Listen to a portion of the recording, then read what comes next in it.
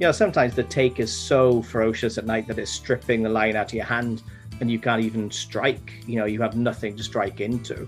Uh, but that take in the middle of the night when there's pitch black, no noise, nothing around you, there's very little in the fly fishing world that can give you that. Hello, and welcome to the Ireland on the Fly podcast about the people and places of fly fishing in Ireland. While we may be still a few weeks off the summer runs of salmon and sea trout, in advance of that, we thought it'd be worth finding out more about catching sea trout on the fly in both daytime and nighttime conditions from one of the world's leading experts, Steffan Jones. Steffan is based in Wales, but has fished for and caught big numbers of sea trout all over the world, and he gives us some great insights into the setup tactics and flies for catching the elusive white trout.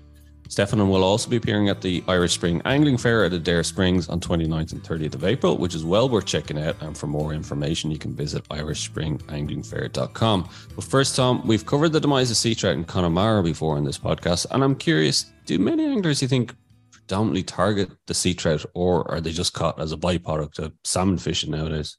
Well, I, I would have to say I'd agree with you there. Are definitely in, in Connemara, there wouldn't be as many people targeting them as they used to. But no doubt all throughout the country, there'll be a cohort of anglers that do target them. You know, we still have we still have runs left in, in rivers in the country, and there are a few lakes that you can target them. And like for example, that said, I, I would I would fish Lahaina and target sea trout in Lahaina, and oh, we yeah. would go to uh, Glenigmurrin and Costello and target them then. But you know, it's um unfortunately, as we've discussed here before, they aren't what they used to be. Yes, exactly. Um, but and we might just get into the. You'll hear more from Steffan talking about it. But in terms of maybe more people should think about targeting them on their local rivers, there is potential there. Yeah, it was not. That was fascinating talking to him, and you know, he gave his tactics about you know how he go you know uh, fishing for them, and and actually, more importantly, searching for them, which is very interesting. But you know, I, I talked to anglers, you know, from all over the country, and you know, the, there are rivers all around. You know, starting from the southeast coast, right around the south coast, the southwest coast, on the west coast, that do get runs of sea trout. All right, they're not huge, but they are completely underfished for sea trout. Completely yeah. underfished. And it was when he was talking to us about, you know, how we would set about, uh, you know, fishing a, a, a, river, or you know, how we'd go about fishing for sea trout with a fly. It set me thinking that you know God, there's obviously possibilities there for you know guys that you know the river is close by just to give it a go, and I, I think it's it's something I I would definitely like to try. And it would be interesting to see then, I suppose, figure out, yeah, if your local river has it, and then what it would be like targeting the sea trout at night time as well. Yeah, well, like I mean, the, the his tip there for how he would, you know, find fish in a pool and mark them, and then mm. target them again afterwards. I think it's fab, you know, and something you can really do. And you know what? It'd be great fun doing it anyway. Yeah, yeah, exactly. Did I tell you about the time I was um, fishing for sea trout with Ken Whelan on the Dodder? No. no oh, yeah, hold on. We did. Well, you no, no, because you didn't tell me we discussed it, but you were in the book. Jesus, it was a such a brilliant experience, especially for the fact that you're standing there, you're in um, in the what's the name of the park? I've forgotten the name of the park in uh, South Dublin, and there's there's buses going by. You know, you have the orange street light across the way. You're in the, the city, the city boundaries, catching. You are, aren't you? Yeah, yeah. You're in, you know, you're mm. watching the Dublin bus double deckers drive by, and you're catching sea trout on the fly. Like it was just, it was bizarre, surreal. that, that is amazing, actually. Absolutely yeah. amazing. Yeah, it just and you know, I was saying to Ken, if you were just looking at the river, I said you could have been in Connemara, like until then the, the bus comes by and kind of shakes you out of your reverie. Like actually, that's an amazing fishery. I know we've discussed it. We should do um, a fishery focus on the Dodder. Oh, we will. We will. Des Chew, if you're yeah. listening, um, I'll be calling you. But let's get back to sea trout now, um, and let's hear from Steffan Jones. And I first asked him where he got his love of sea trout fishing you know you, you become as an angler you tend to become a product of your environment. So if you enjoy fishing and that's why i kind of hate kind of species snobbery in a way uh, you, you don't really get a choice of where you're born or what you're born into or whatever. Uh, and yeah if you enjoy fishing you do the best of what's on your doorstep. And i was just really lucky to be yeah born equidistant between the rivers uh, Teifi and Towy so if anybody knows kind of you know from a sea trout perspective you kind of got the big three in Wales. You got the Dyfi, Towy, and Teifi. Those are your kind of big three sea trout rivers. Product of my environment, uh, as as much as anything. Loved fishing, uh, and yeah, these these were rivers that were on my doorstep, and you know probably yeah, probably the sea trout then captivated captivated me the most. Yeah, and um, literally behind me in the bottom of my garden, uh, I have the Teifi, and the Teifi has grayling, brown trout, salmon, sea trout. But it's it's kind of the intrigue of the sea trout from a you know non-feeding. Well, we can get into that if you want later, but feeding, non-feeding perspective, um, the night fishing. There's a lot of different angles to, to sea trout, which kind of captivated me the most, and that's that's kind of what's what's driven me from from an early age and uh, still drives me to this day. Steffan, I wanted to ask you: Did you start with sea trout or did you start with brown trout? I'd have to say both randomly because my father. So my father's never fly fished. I've tried. I think it's the kind of um, the, the, the, the kind of adage of uh, ne- never teach uh, a family member to drive a car. um, I, I would also throw fly fishing into that mix. Uh, so I've tried to teach my father uh, to fly fish uh, unsuccessfully. But anyway, my father started me off, uh, and I, and it was basically worming on small streams, but tiny streams, tiny, tiny tributaries.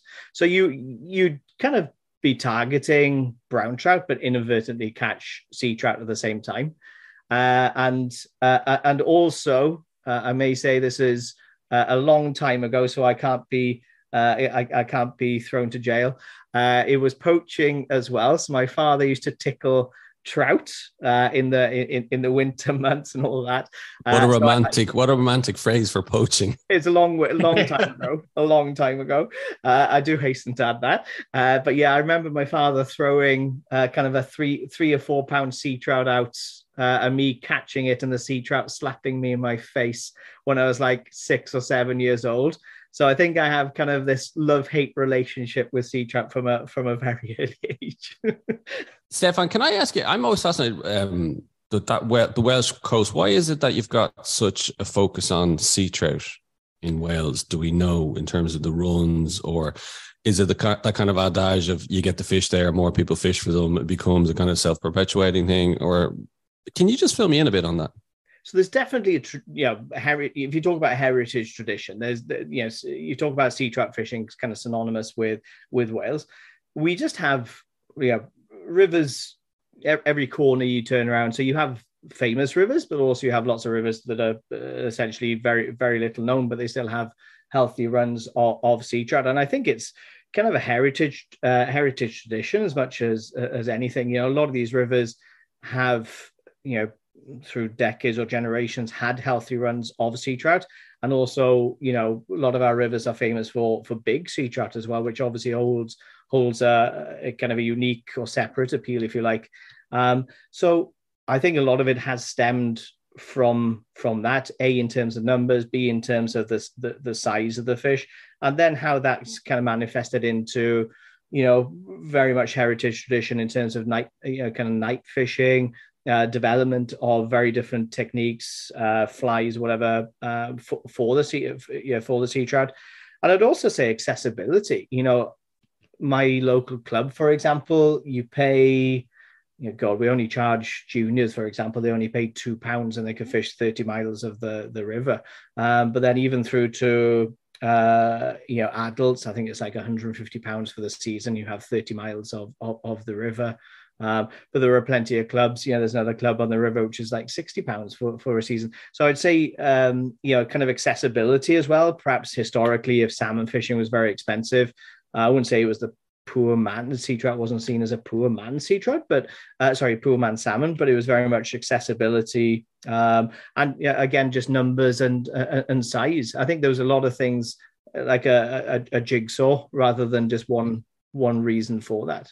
That's interesting, actually. About the, I hadn't thought of it like that. Sea trout in terms of kind of the the worker man salmon in many ways. You know, in the sense that you'd be on the same stretches. You know, and yeah. if you happen to catch a salmon, oh, sorry about that. You know? Yeah, but also if you look at a lot of this, yeah, and it's kind of sad in a way because if you look at a lot of the the famous um, Scottish salmon rivers in in particular, where you know they have some of those rivers have incredible runs of sea trout, but they're you know God, not that long ago, they were, and probably to some uh, gillies, they're probably still seen as uh, as vermin in a lot of those rivers.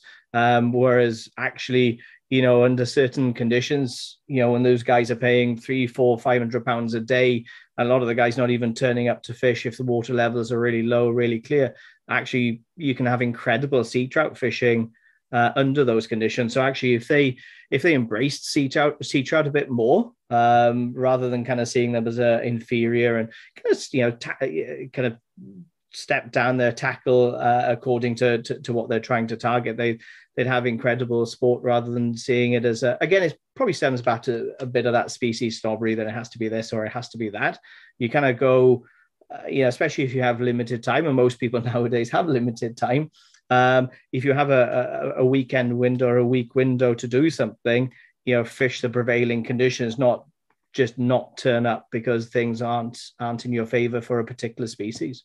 Yeah, it's very interesting there, actually, Steffan, because um, uh, we've often said, well, I've often said on the program here that sometimes the most successful anglers are the wealthier ones, and that's no, you say that about down, salmon. You say that about salmon anglers, Tom. Yeah, yeah, I do. Yeah, Steffan said something very good there: accessibility. Yeah, exactly. And if you can, yeah, it's you know, uh, but again, I if you took a lot of those guys, yeah, they they think that, for example, a, a I love nothing more at this time of year than targeting a big brown trout, or it doesn't have to be big particularly, but a rising brown trout, a, a, wily brown trout at the start of the season on, on, on dry fly, where you're hunting down a given fish. Your approach has to be right.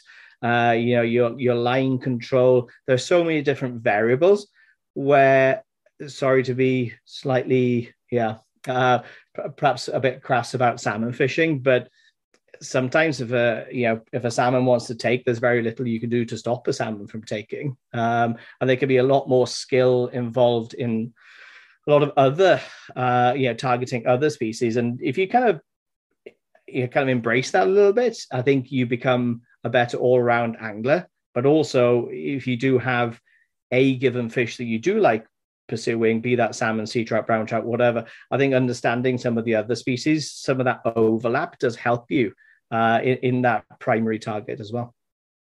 That's very good. I'm glad you said that, Steffan, because only recently we were talking to a river angler and it was two against one of Dara teamed up with Darius against me, right? So now we can team up against uh, Dara because I'm totally with you on having to fool a brown trout. Whereas when when a salmon is on, as you said, nothing's going to stop them taking your fly. I, I, Tom, I will hold my hands up here, and I have. In fairness, now you seem to have forgotten the. Remember, I always said there was, and I don't know if you remember Steffan, and I, I have to put it up sometime on social media. Is because I actually found I had taken a print out of it. There was um, an illustration in uh, Trout and Salmon magazine, probably about 10, 12 years ago, um, where it had the trout angler brain and the salmon angler brain. Yeah. And, and, the trout angler brain was, you know, entomology, encyclopedias, you know, Latin terms, you know, all these kind of, you know, shelf full of stuff in yeah. the brain, you know. And the salmon anglers was cast, step, cast, step, cast, step. Yeah. It's an yes, absolute in brilliant. your defense, you have quoted that before. Yes.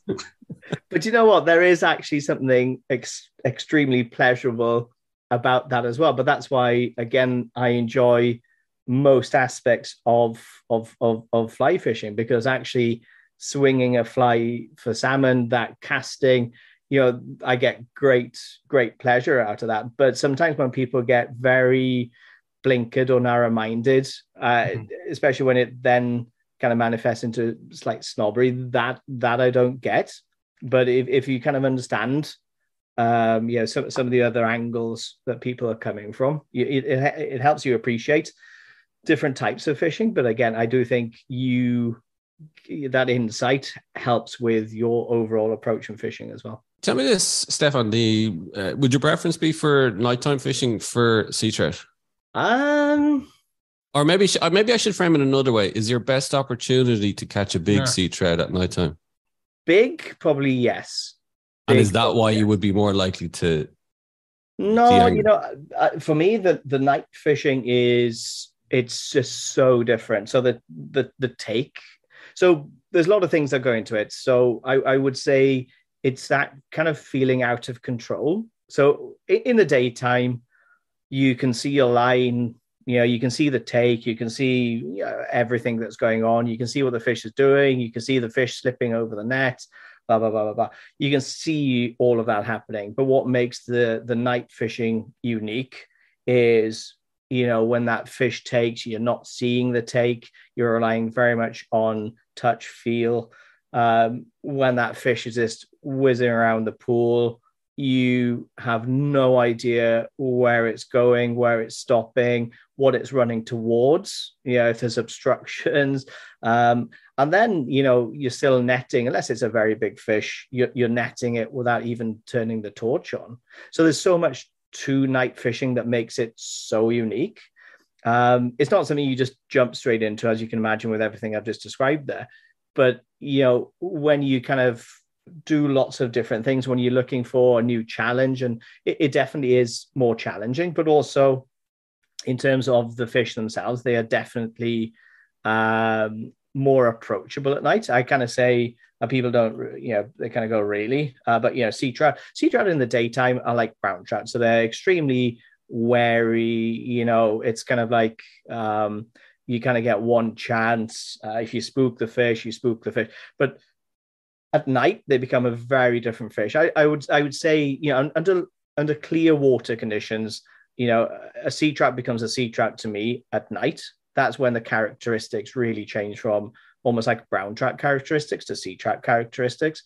Um, so that's what makes it, you know, more, more yeah, more kind of unique in a way. But that night fishing aspect, again, you know, you, if you're getting even a four pound fish, you know, four pound fish cartwheeling around the pool and you have no idea what's happening next.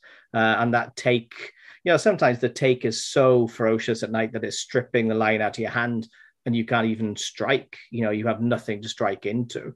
Uh, but that take in the middle of the night when there's pitch black, no noise, nothing around you, um, there's very little in the fly fishing world that can give you that. And to have that kind of on your doorstep, yeah, it's you know you you count your blessings, and it's not something I take for granted for sure.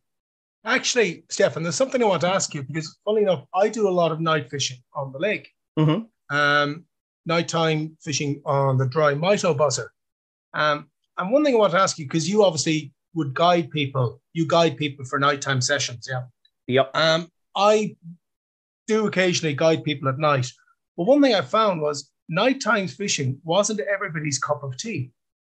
That some people, you know, they go into it and they would come out with me all gung ho, and they just didn't enjoy it and didn't enjoy fishing in the night. Have you ever found that? Yes, but I would have to say, Tom, it, it, has been rare. So I've so this year uh, would be my twenty seventh year guiding at night. So uh, yeah, I've, I've been doing, doing it for a bloody long time. You've had a couple of people out, so I've had a couple of people over yes. the years. Yeah, uh, I would have to say that it's it's really rare. So I have people that, to be honest, if they're coming sea trout fishing, they they're almost already in that mindset that mm. this is something they want to do rather than for example if you took somebody spinner fishing at dusk on the river and then you took them night fishing then i can understand some of those people being kind of uncomfortable or outside of their comfort zone.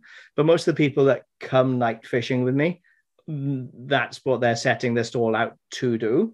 Um, but what I, I kind of set them, and even from that perspective, so I'm, I'm, when I'm guiding, I'm never fishing, and I'm literally, you know, a meter away at all times from from the person that's fishing, and I always graduate them into the evening. So it's not the case of, right now it's pitch black, start casting.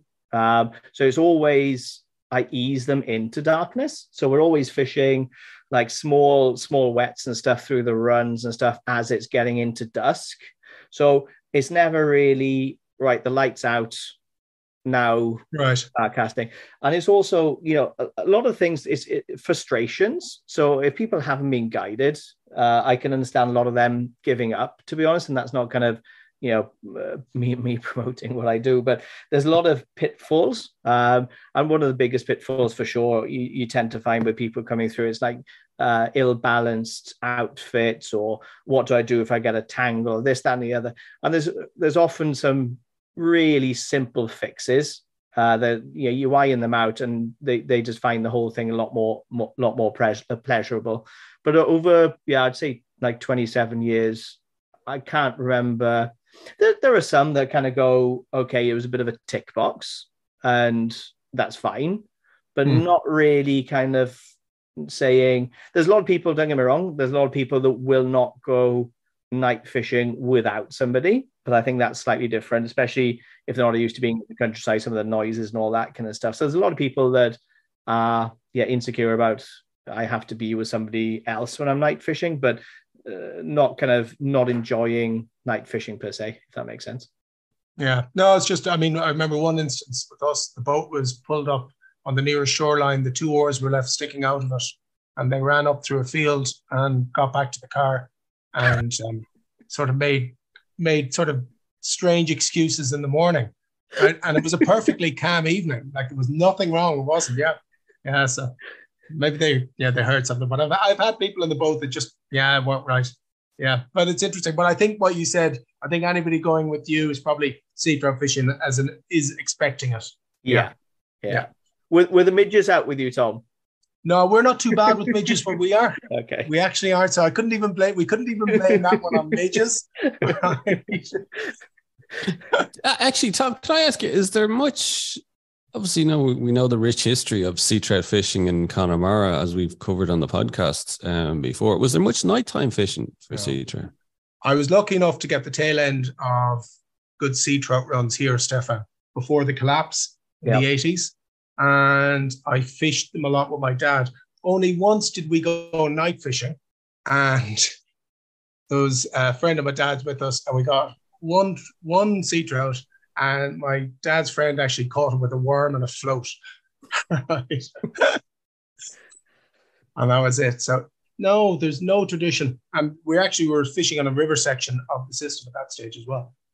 You know, interesting, interesting. So it's really, really strange. I think. Uh, I, I don't know. Have you fished over here much, Steffan, for sea trout? Uh, f- for my sins, no. Uh, I have fished. Uh, I tell you, there's two, two, two places. I have fished on the uh, Munster Blackwater. So I've actually dry dry fly fished for sea trout on the Munster Blackwater, and then I have fished. Uh, is it Carran or Crane? Oh, Caragh. Caragh so I have fished Carran uh, and lost a nice salmon in Butler's Pool. There you go. Uh, but no, uh, to, for, for, my sense, you know what, Tom? It's really ridiculous. So I live, oh, it's less than three quarters of an hour from Fishguard. So I can do Fishguard, Rosslare really, really easily. And for for whatever reason, historically, I've always gone to Scotland. Uh, so I've always done like the Nith and then all those types of rivers, especially up uh, Dumfries Way for, for sea trout. Um, and then the last few years, uh, kind of uh, my wife and I, we got uh, two young kids. We're like, why are we traveling? You know, we went up to Aberdeen one year. I literally, I was guiding until half past one in the morning, go back to the house, and then we drove 12 hours through the well, through the night and into the morning uh, up to Aberdeen. And we're like, well, this is yeah, this is crazy when we have Fishguard. You know, getting anywhere from West Wales is tough. Uh, but but but getting over to my, my Celtic brethren uh, over the over in Ireland is actually really really easy. Uh, so we're making more of an effort on that front to um, yeah to, to, to kind of make amends and start coming over a bit more. To be honest, but I would say actually, Steffan, in fairness, like the numbers, the sea trout fishing isn't great. And it's mm. been struggling um, numbers wise. Oh, I suppose what I'm trying to say is you wouldn't think of Ireland as a primary sea trout destination yep. when there's a lot of other better rivers um, to be had. And actually, just I wanted to ask you that: Have you? Because we've seen it with Caragh recently, in terms of it's really suffering at the moment in terms of numbers. What about the Welsh rivers? Have you been affected much? Yeah, absolutely. Wise? Yeah, let's yeah, let's not. Uh, I'm, I'm not here to uh, say everything is, is, is roses by any stretch of imagination. No, there's been, you know, out, out, from a salmon perspective, I think that's kind of pretty much the, the, the same all over. Um, the sad thing about the, you know, from a sea trout perspective is, you know, some small changes would actually see big improvements with with us. So just talking about my my home river uh, here, the Teifi, for example, uh, we still have uh, 15 nets working the river. That's legal, uh, totally legal netting. So you have 12 coracle nets and three seine licenses on, on the river. So you have 15, 15 nets uh, issue, uh, 15 net licenses issued by uh, Natural Resources Wales, which is like a, our environment agency.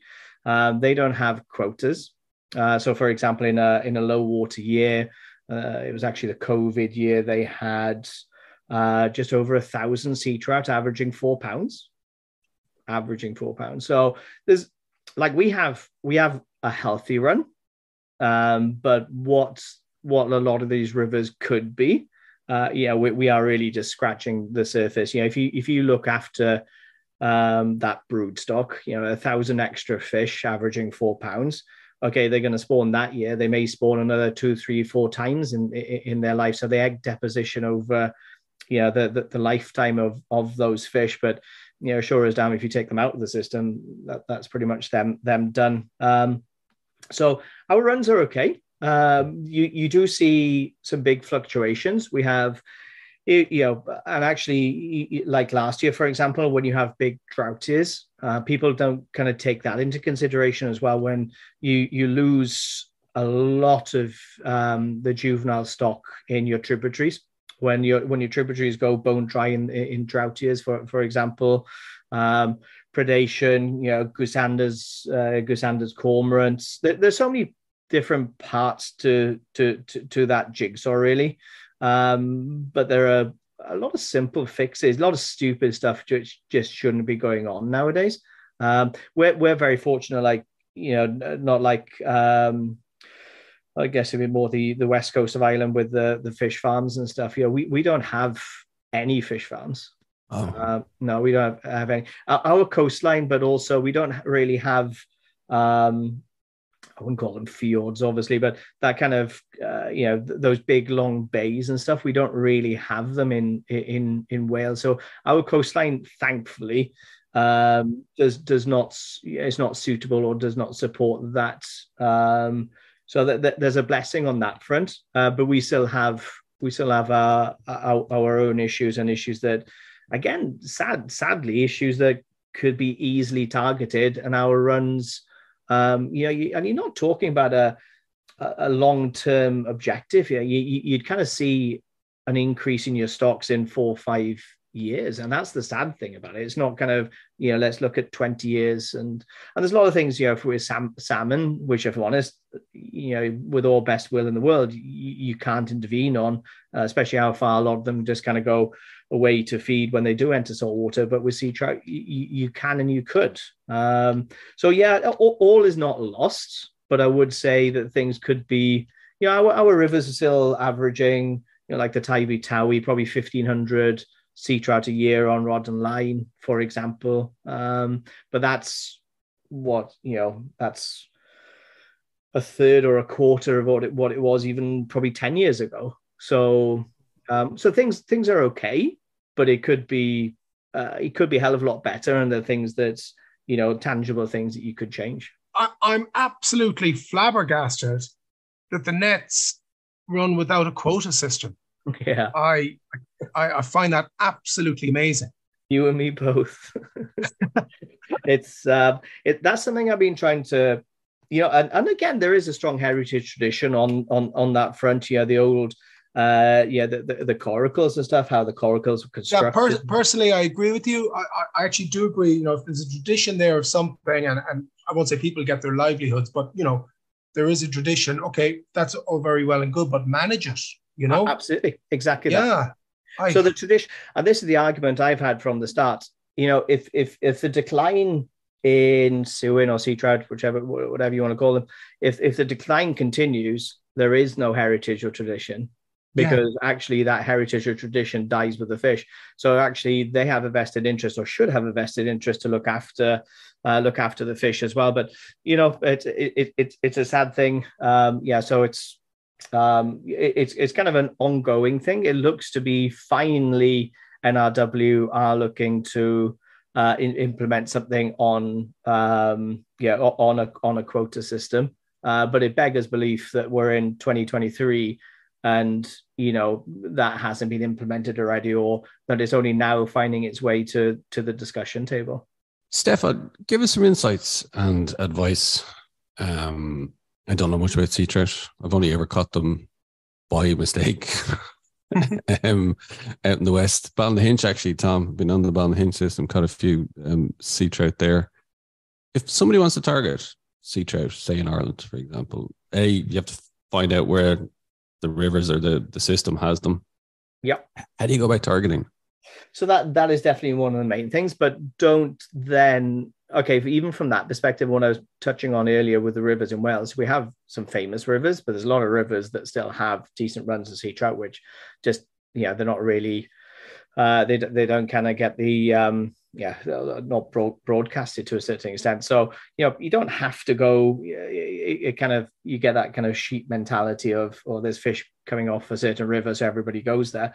Um, you know if if if your river is known for sea trout, then then then quite simply just start there.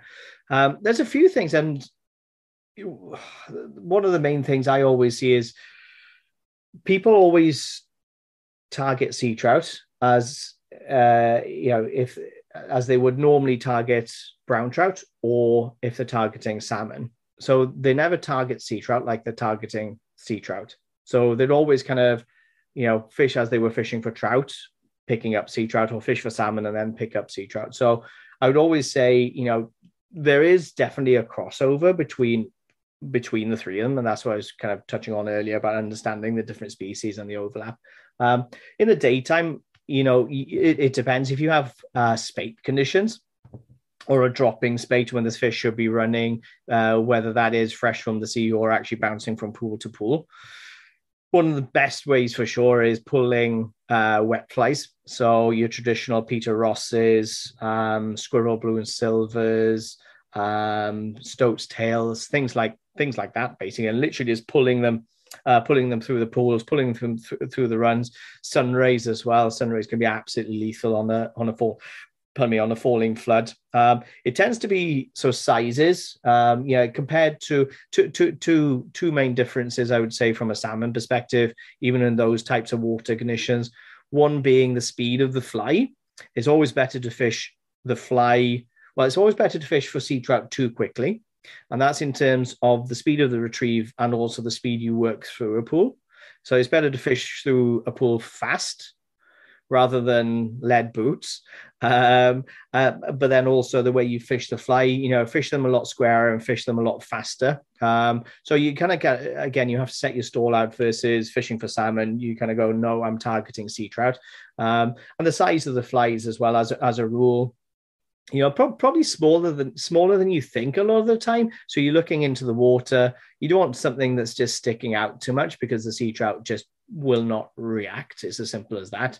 Um, but th- those are kind of the two two main so things. sorry there Steffan, yeah, but when you say when you say small let's say you're peter ross are you talking eights tens or 12s what, what are yeah eight, eights to 14s eights oh right you 14s. would you go to 14s yeah yeah absolutely. Yeah absolutely. Mm. yeah especially again when you're down to you know two foot three foot visibility um yeah that that can make a big difference to be honest. Just just stepping it down stepping it down.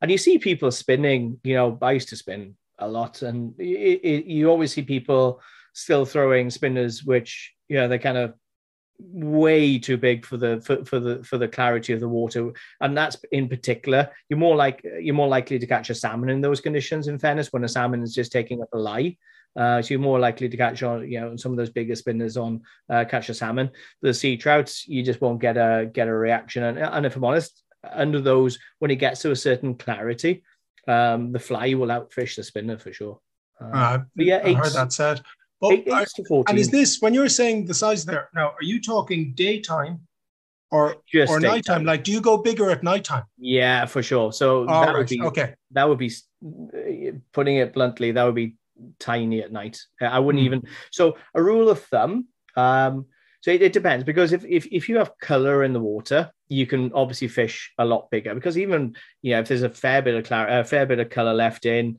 you know you're, you're stripping sun rays and all that kind of stuff. And um, it may sound daft, but if there's actually a lot of color in the water, I'll fish huge sun rays, like six, eight inch sun rays for sea trout. And you'll oh, wow. get yeah, you'll get school fish. You get three quarters of a pound sea trout taking an eight inch sun ray, no problem at all.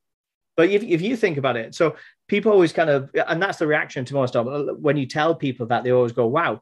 But then you tell people then, you know, they would happily fish a 10 centimeter or more husky jerk or Flying C or whatever, and they'd be catching the, you know, three quarters of a pound sea trout on those spinners.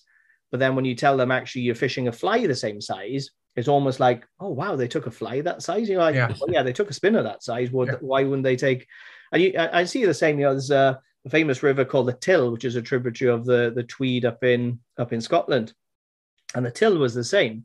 I started going up and fishing the Till, and they were like, "No, no, these these fish don't take big flies." And I'm like, "All right, okay, cool."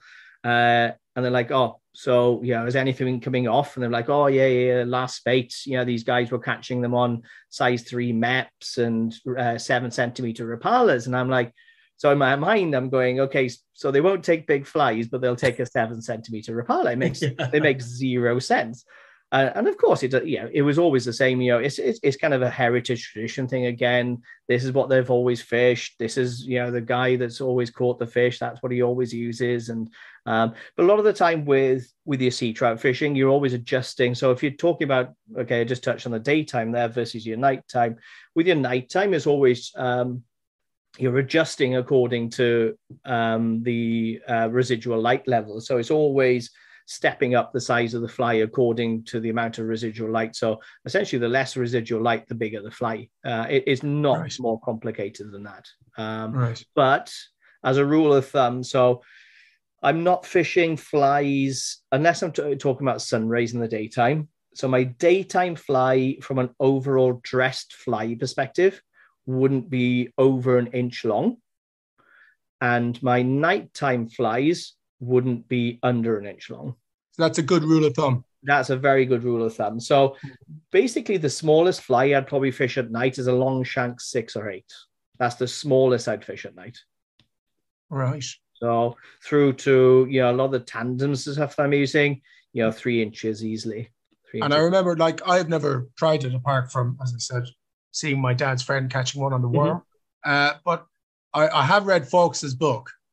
And which I love reading. But um, he mentions floating, floating flies, the surface lures. Do you yep. use them?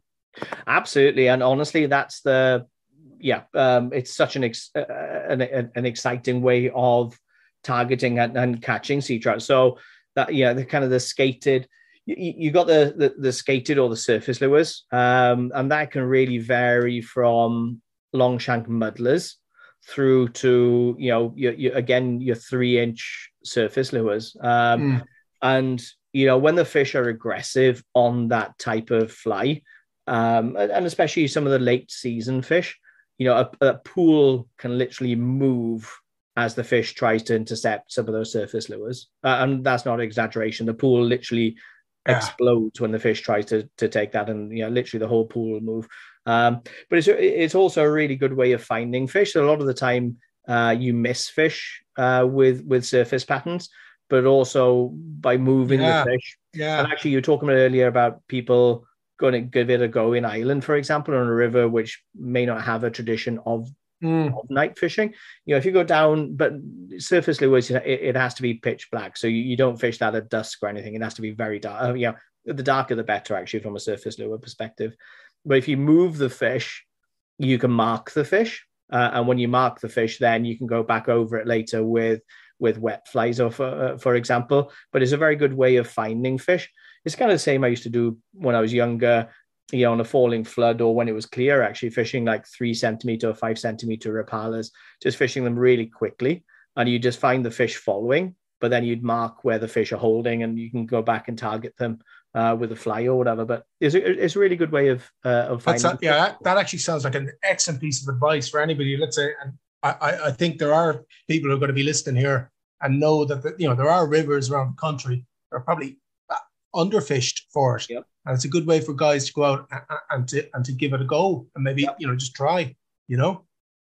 And if those rivers are good brown trout rivers, what they'll be amazed about is is as well. I'll probably touch on dry fly fishing at this point as well. But um, what you'll find is, you know, if if you have like my you know, my home river here, the Teifi, uh, if you have a river that's also a good brown trout river, you'll also find that you pick up um, a lot of big browns at night as well. Uh, be that mm. on surface lures, they love taking those surface lures at night, especially like the uh, the muddlers and stuff. You know, uh, skated muddlers, almost like sedges and stuff at night. Uh, but also, yeah, some of the big predatory brown trout, you'll pick them up on your tandems and stuff at, at, at night as well. Um, but also, you know, if, if your river has brown trout and sea trout, and you have decent hatches, decent fly life, there's no reason whatsoever that you can't target, um, especially the smaller fish. So when I talk about small fish, I talk about fish up to maybe two and a half pounds on the sea trout front uh, that will feed.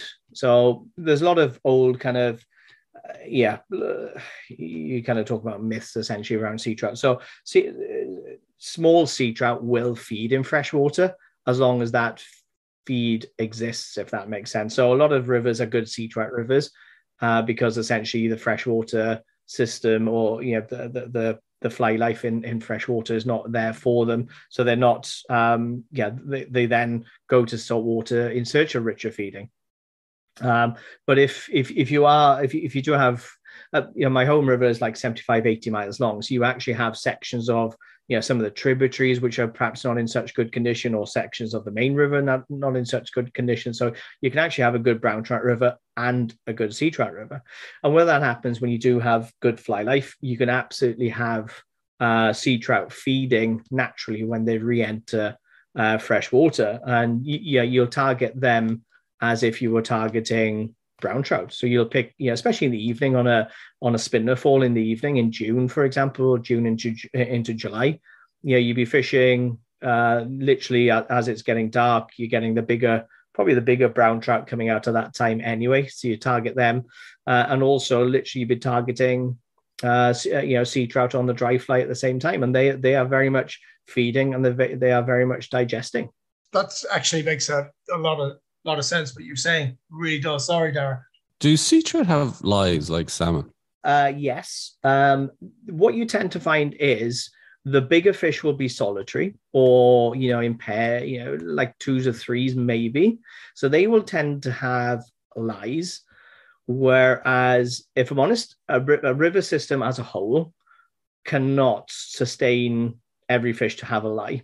So if you're talking about, you know, you should be talking you know, if there's thousands of sea trout coming back, not not the, the river just cannot give every fish. So you tend to find a shoal would be looking for a holding pool. So a holding pool, they may be looking for a back eddy. So when sea trout re- re-enter freshwater, they're looking for an easy freshwater existence.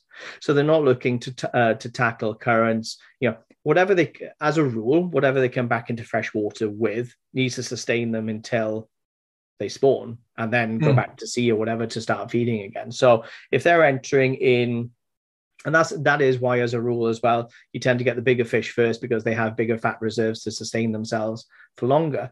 Um, so you, you, you tend to have them coming back in first. So, but when when you're talking about fishing that you know coming back in their thousands, so they're, they're looking for an easier freshwater existence so that they don't want to burn that energy so they will tend to hold in shoals but hold in slower parts of the pool actually quite yeah, as a rule quite boring parts of the pool but they can be also be the most productive parts so i will often fish back eddies at night because if you're thinking like a sea trout again with your question in mind those fish are never going to have individual eyes they may have spots, so they will often change spot from a daytime spot to a nighttime spot.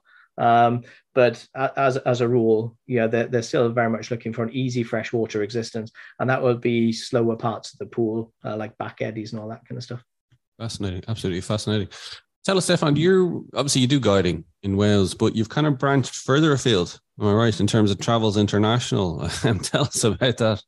So yeah, I've been just passionate about traveling, uh, you know, anyway, and it was kind of came out of university, and I kind of went, okay, let's try and do something I'd enjoy doing. Uh, and yeah, if it didn't work out, I had the kind of contingency to drop back on.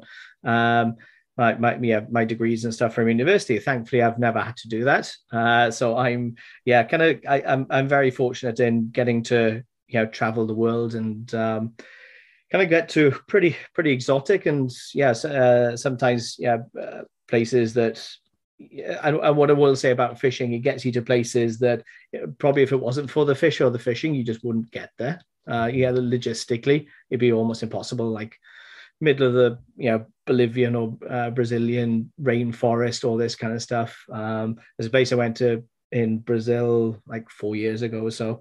Um, yeah, the last people to visit it was National Geographic, for example. Wow. It's just place, but honestly, it's not something I take take for granted. It's just amazing, uh, amazing experiences. Um, and then during COVID, I got um, I got made redundant during COVID, so I kind of took it on myself. I was like, right, okay, this is the time to, you know, uh, g- g- kind of set up my own flag, as it were, and set set up my set up my own company, uh, doing what I had been doing anyway for the last fifteen years or so, I guess. Um, so it was kind of yeah, okay, now, now is the opportunity, and so that's kind of what am I up two two and a half years into that now, and. Um, slowly slowly gaining traction. You know, the, the, the world is returning to a state of normality.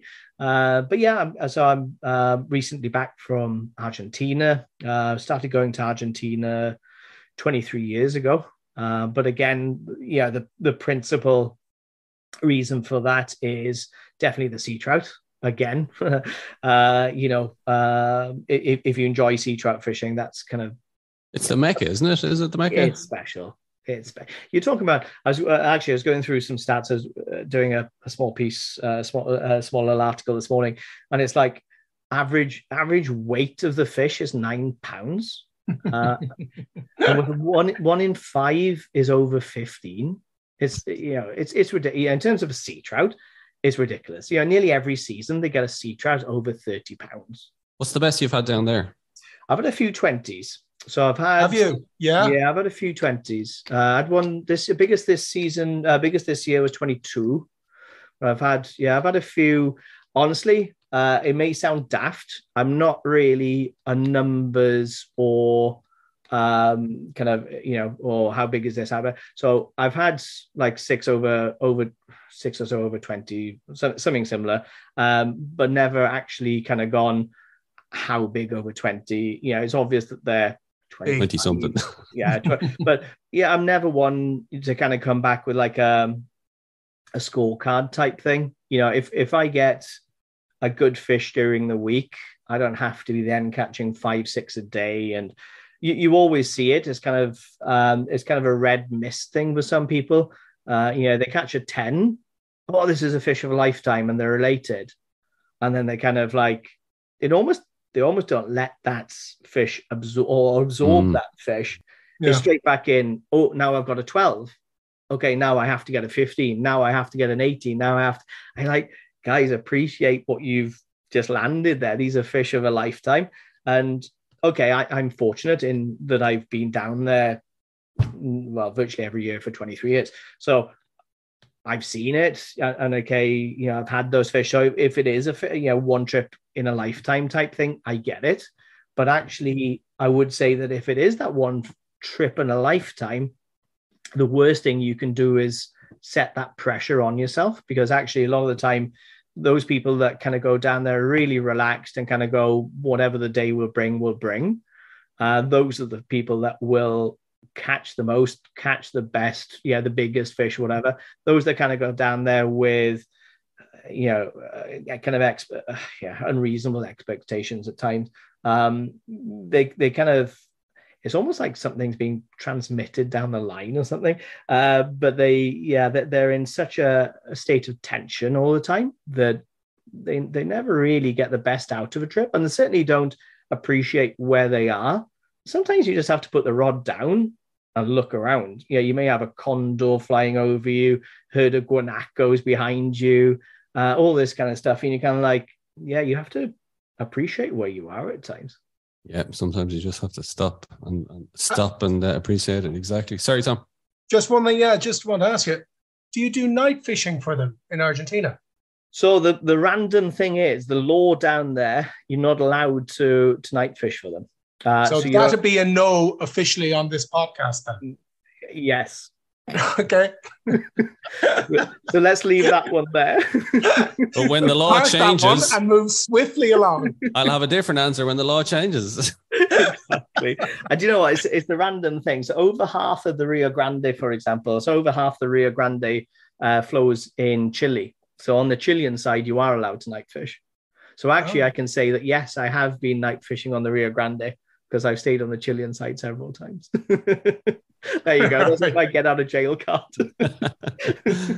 um, Steffan, you're going to be over in Ireland. So from the Rio Grande to the Ardaire Springs.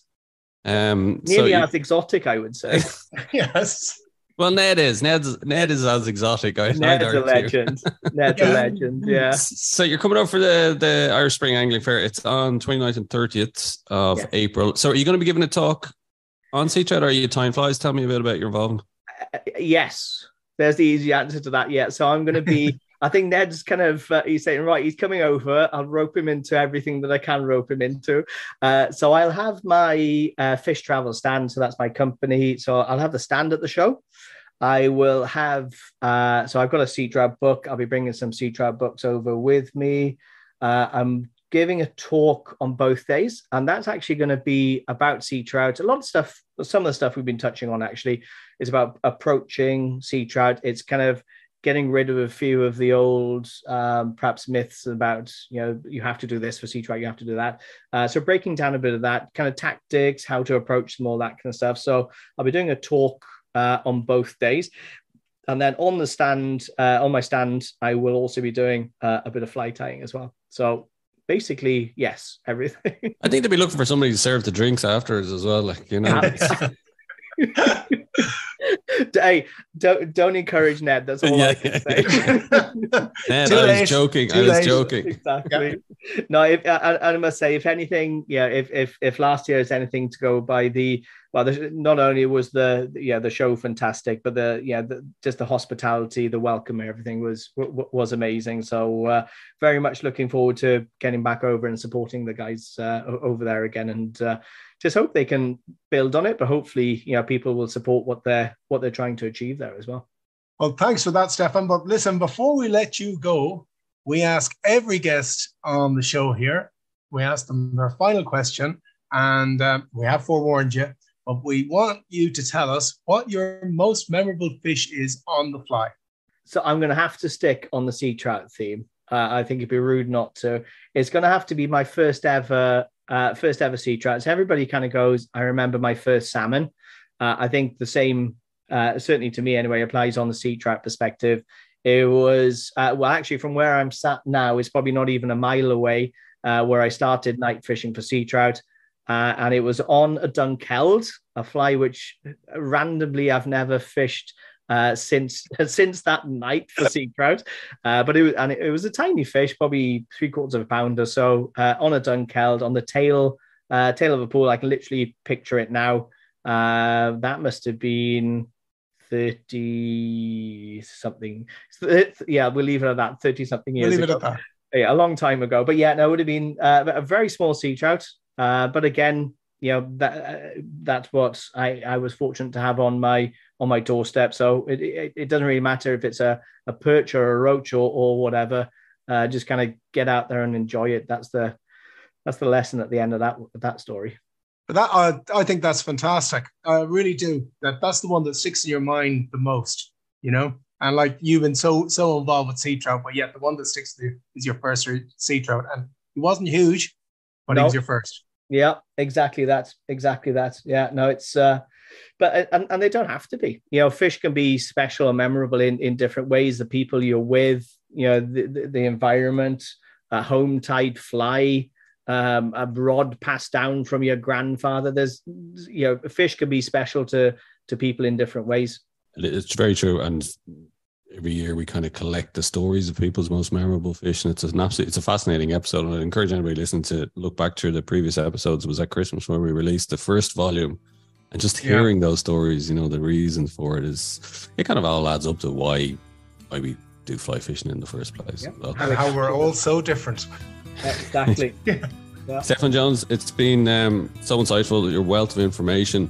I'd say I'd say you could talk all day on this and not a bother. Um, there's so much to learn, and, and, it was fantastic talking to you uh, and learning as well uh, from you about that. Um, so hopefully we we will see you at the fair. Chat again um, for some more insights on, on sea trout fishing another time. But Steffan Jones, thank you very much for joining us. Thanks again, Jensen. Thanks for your time. Our thanks to Steffan Jones for joining us on the show. And don't forget to rate, review, and follow the Ireland on the Fly podcast on Apple, Spotify, or wherever you get your podcast from. Plus, you can keep up to date on IrelandOnTheFly.com as well as on Instagram. And myself and Tom will be back with another episode about the people and places of fly fishing in Ireland.